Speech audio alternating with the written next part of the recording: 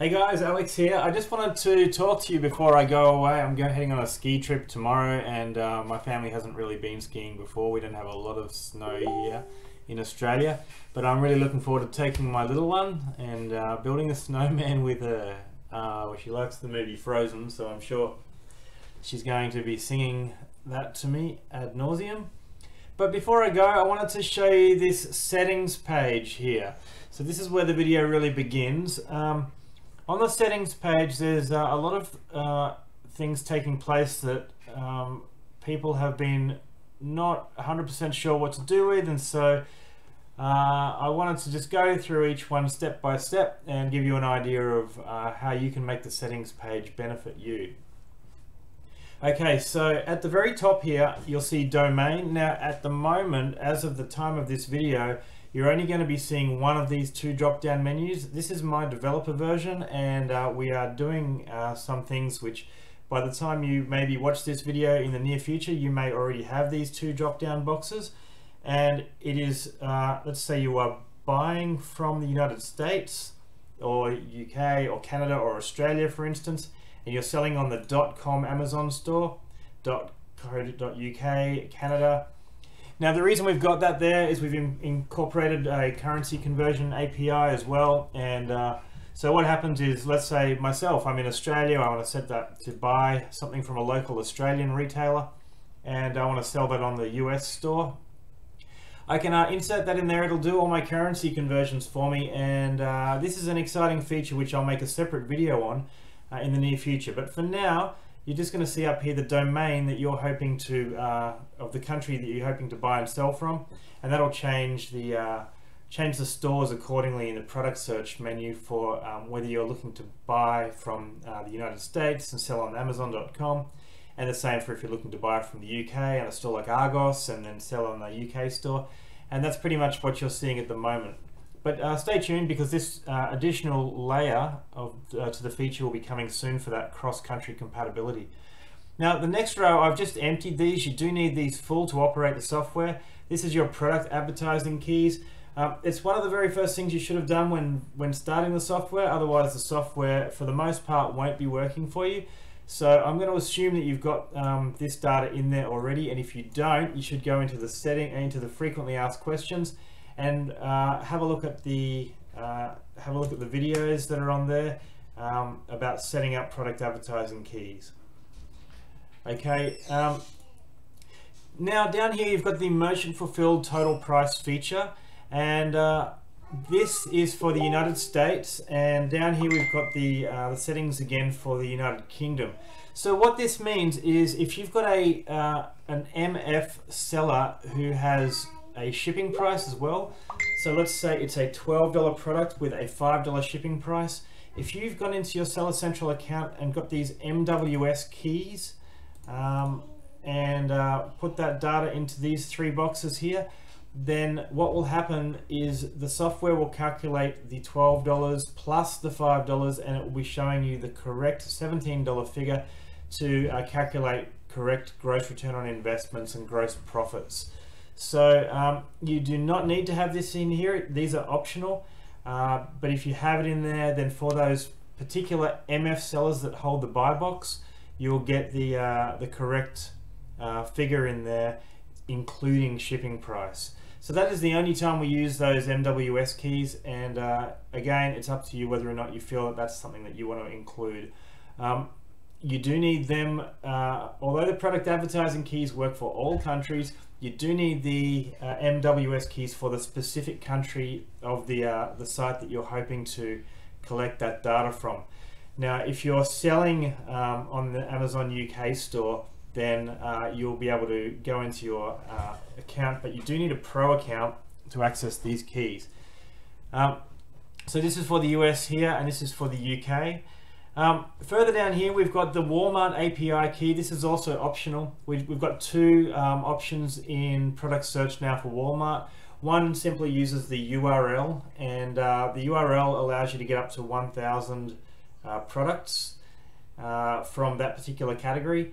Uh, whereas the API allows you to dig a lot deeper and move past those those um, initial 1,000 products, and sometimes you know there's categories in there which have got up to 90,000.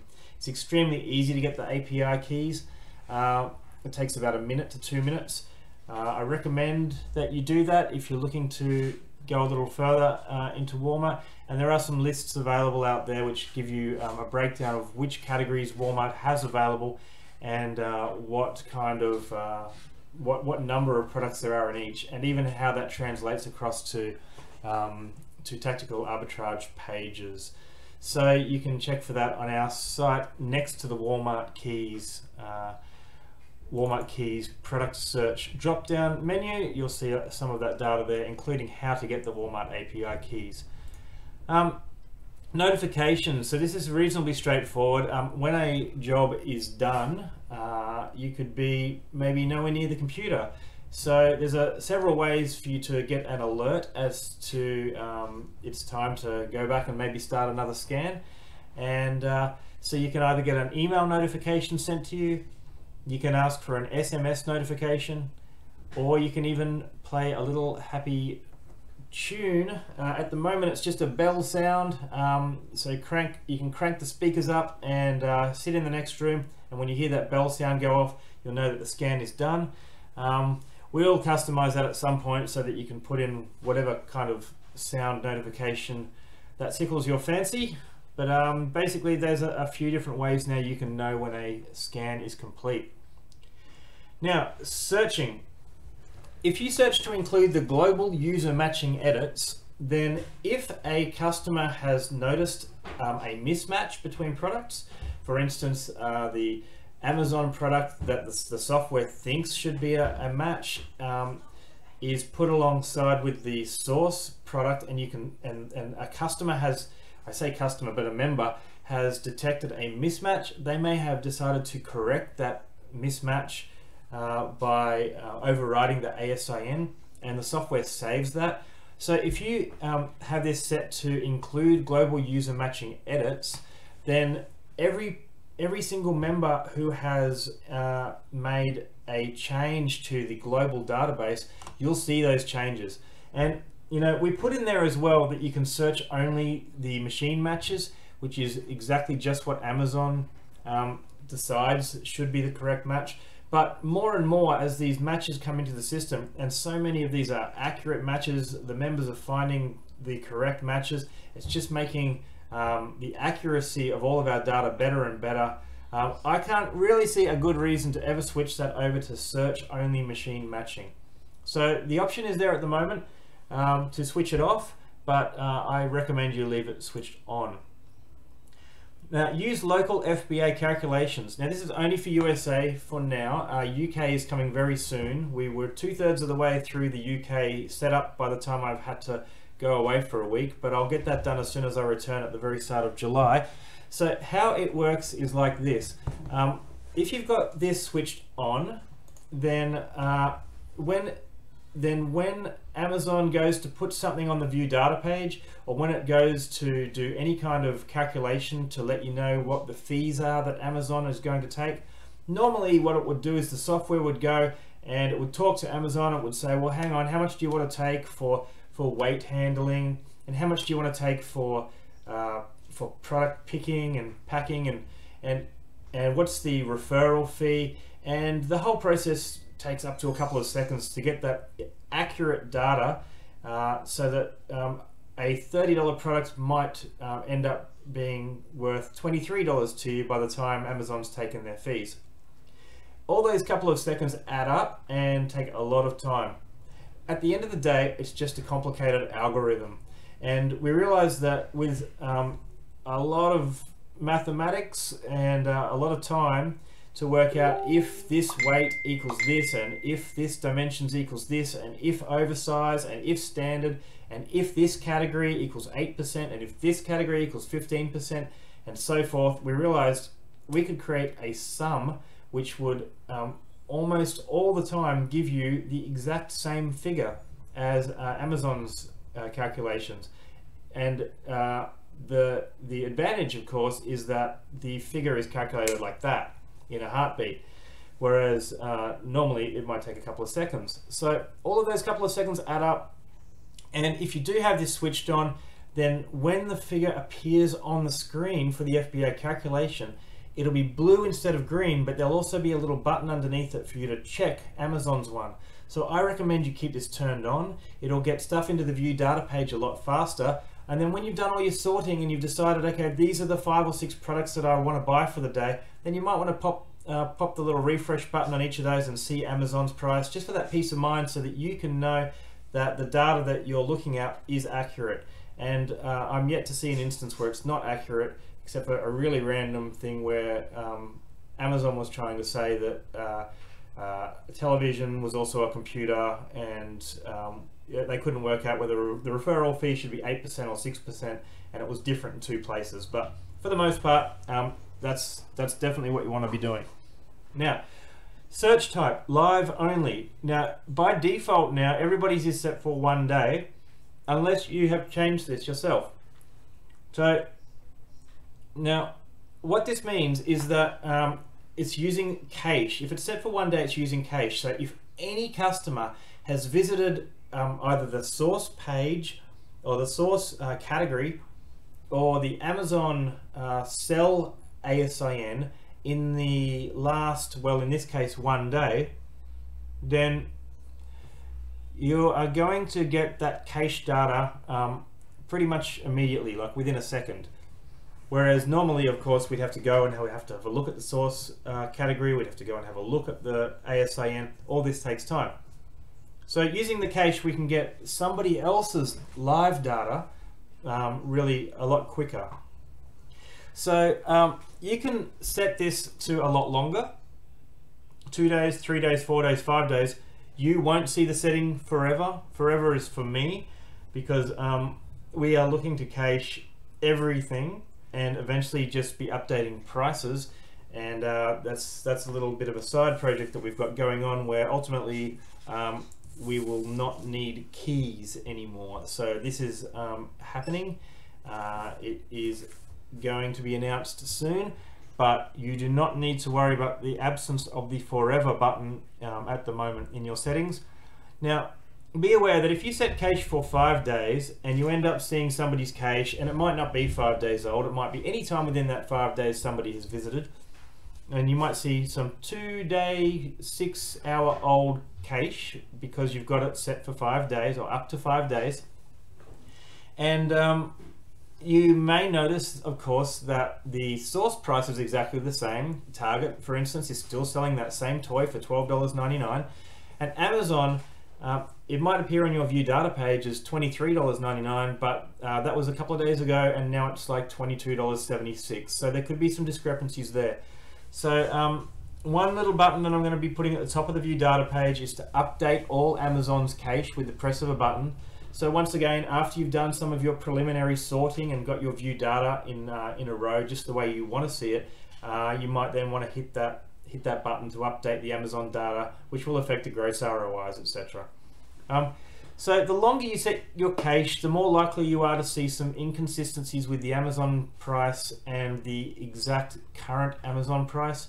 Amazon, as you know, can change several times in a day, um, in an hour even, and uh, you know it might only slip by a, a couple of cents over the course of a couple of days, but then again it could it could slip by a couple of dollars and you may be um, evaluating your potential return on investment in a different way if you uh, are utilizing that cache feature.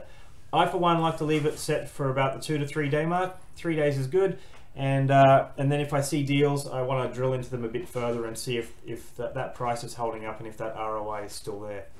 Now, your PayPal address. Now, we put this here because if you decide to play the global matching game, um, then we want to pay you because if you uh, if you've made a certain number of matches per month, then at certain thresholds we will give you a rebate for saying thank you for making those matches and making the global uh, database of products that have been manually matched um, increase the database of uh, valuable, you know, reliable matches um, throughout the entire database. So so to play the game, you need to have your PayPal address entered in there. Um, and uh, so that by the end of the month, when I go to check and see who is eligible for a rebate, I can pull out that PayPal address and send people the rebates accordingly. Now, if you want to know how much uh, rebate you're going to get, again, on the frequently asked questions page, we're going to update this data. Uh, for June, we've got the figures here, and uh, we've just added a fourth tier um, for, I think, over 250 matches is uh, maybe, maybe it's 300 matches, get you $25 and some discounts off Nate McCallister's software and I've mentioned that on the Facebook page, but it's not listed in here yet. Now we will be continuing to update the frequently asked questions page with um, with updates on what each month's game details are. You'll notice that there's also some things like the most amount of matched in June will be credited a free month. There's one particular user who's almost double everybody else's, and I'm pretty certain that she's going to take it out this time around. Um, now, you can see here that I have not been playing my own game as well as I should. Um, it says the number of matches that I've made this month is only 20 and uh, obviously um, I need to get in the trenches a little more and uh, make some some matches myself but a lot of these would have been initial tests and make sure that the system's working fine and once I was totally okay with how it was operating and I saw customers were experiencing the same I probably moved on to the next feature. So um, now it does say here the number of changes as of accuracy of matches may change. The number may change because we will check the accuracy near the end of the month to see whether or not um, anybody's uh, sending in incorrect matches and we'll, we'll, delete those accordingly. But for the most part, what we've found is that everybody's uh, doing a really good job of giving us accurate matches. And we've got like nearly 5,000 uh, new manually matched products in the system, uh, which just helps everybody. Now view data. Um, now that that is set by default for everybody to 300 rows when they very first uh, join the software. Uh, but some members like to run very long bulk scans and they keep their filters really loose. And obviously the looser you set your filters, the more um, products are going to populate that view data page and the quicker you're going to fill up your quota. Now, we said here the view data page can experience slowness if a large number of rows is selected here. Now, uh, to be honest, I haven't really experienced that too much myself. My computer is pretty good, but uh, I can take this all the way up to the thousand rows and not experience uh, any any problems um, with my code or the software or the computer slowing down. But uh, some people, particularly those with older hardware, may want to keep this at a lower amount of rows and just uh, make sure your filters are uh, nice and tight. Um, now on that view data page as well, it'll show 10 lines by default per page. Uh, I like to crank this up to about 50 and uh, have a look at a big, big uh, amount of products all at once. And some people prefer to keep it lower and just look at a little pocket of stuff that fits on one page, but um, it's each to their own. So that is the settings page. That is everything that's on the settings page at the moment. We're bound to be adding more things soon, and uh, there's plenty more features coming. And uh, thank you very much for taking the time to watch, and I hope uh, you got something out of it. I'm just going to hit the stop button now, and I'll talk to you soon.